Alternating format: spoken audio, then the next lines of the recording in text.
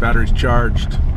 I guess you could say, or my son might say, with those boots, the flannel pajamas, and the white t-shirt, I guess I could be classified as country boy fresh. What do you think?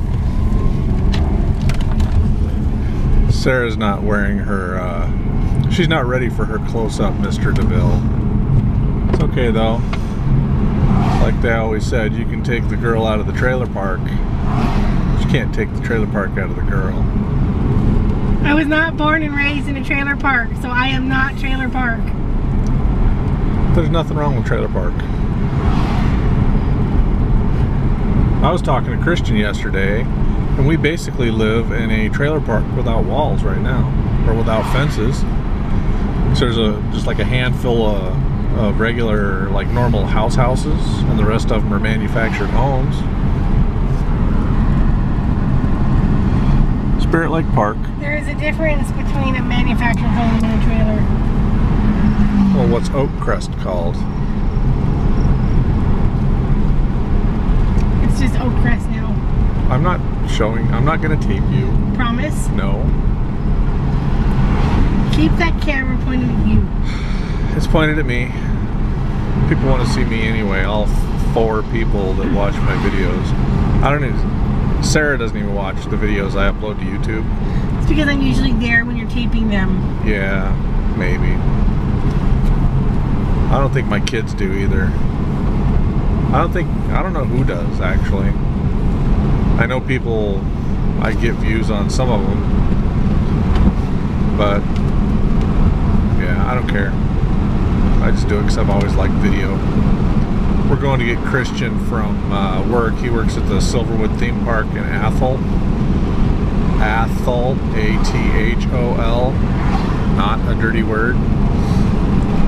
And it's not a big deal or anything, but I'm gonna video, take video when we're driving into the back entrance. Not a lot of people get to see what it looks like at the employee side of a of a uh, theme park. So, I mean, it's not a Disneyland or anything. Might as well be for the prices they charge, but it's weird too because it's out in the middle of what looks like fields and forest. There's just this theme park.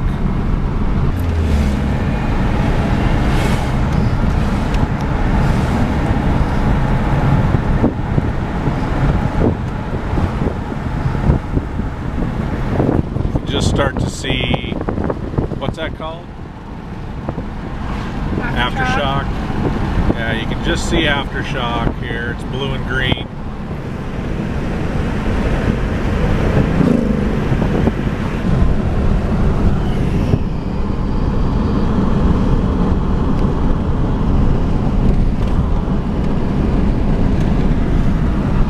We get to stop for another train.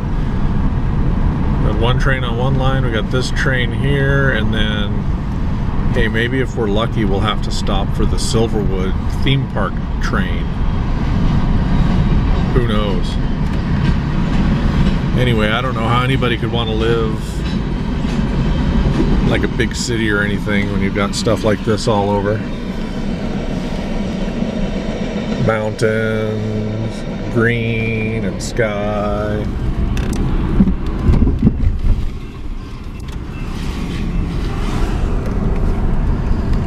All right.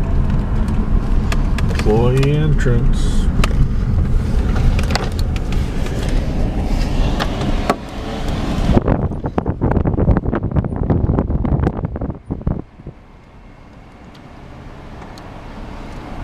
The most exciting thing ever.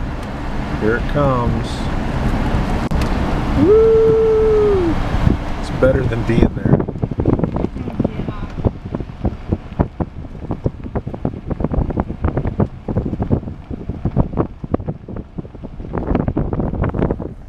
I don't know. It's pretty cool for being middle of North Idaho. Well, yeah, I guess it is the middle of North Idaho.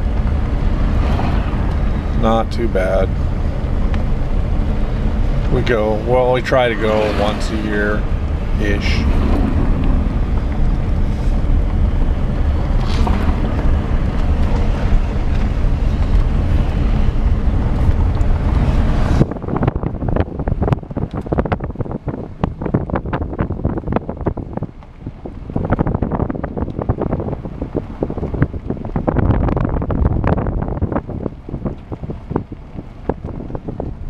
Park is up there a bit.